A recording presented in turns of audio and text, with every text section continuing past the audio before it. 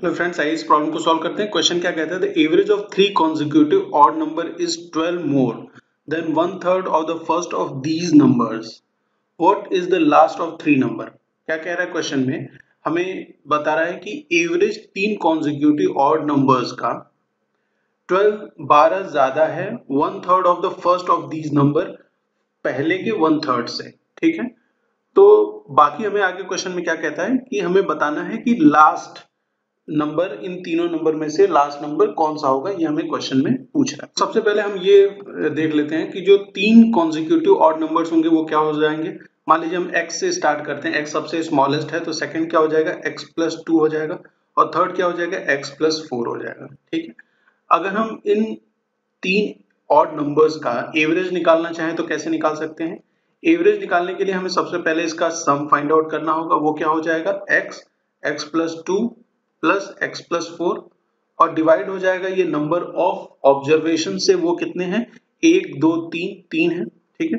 तो थ्री से डिवाइड हो जाएगा। ऊपर में ऐड करेंगे तो three x plus six divided by three that is x plus two आएगा, ठीक है? क्वेश्चन में हमें क्या कह रहा है कि जो इस जो फ़र्स्ट नंबर है ये, इसका वन थर्ड ठीक? इसका वन थर्ड कितना है? कंडीशन क्या कहता है कि एवरेज जो है, वो 12 more than one third of the first of this number कितना ज़्यादा है? 12 ज़्यादा है। किससे? एवरेज से। एवरेज क्या निकल के आया है? x प्लस टू आया है। यहाँ से हम क्या करेंगे इस इक्वेशन से? x की वैल्यू फाइंड आउट कर लेंगे। x की वैल्यू फाइंड आउट कैसे करेंगे? ये चेंज हो जाएगा x ये थ्री को हम इस साइड ले जाएँगे। तो ये x और plus twelve into three thirty six ये x इस साइड जाएगा तो ये थ्री एक्स हो जाएगा प्लस सिक्स ठीक है? कितना हो जाएगा? Three x plus six three इस एक्स को इस साइड ले जाएँगे तो ये टू एक्स हो जाएगा और ये सिक्स इस साइड आएगा तो कितना हो जाएगा?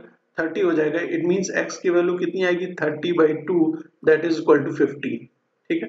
फिफ्टीन हो जाएगा। लेकिन क्वेश्चन में हमें क्या पूछ रहा है? एक्स की वैल्यू कितनी आ गई? फिफ्टीन क्वेश्चन में हमसे पूछ रहा है कि लास्ट नंबर बताओ। ये नंबर के बारे में पूछ रहा है तो x प्लस फोर के बारे में पूछ रहा है। x की वैल्यू 15 है तो 15 plus four that is equal to 19 तो क्वेश्चन का जो आंसर है, वो है ऑप्शन थ्री 19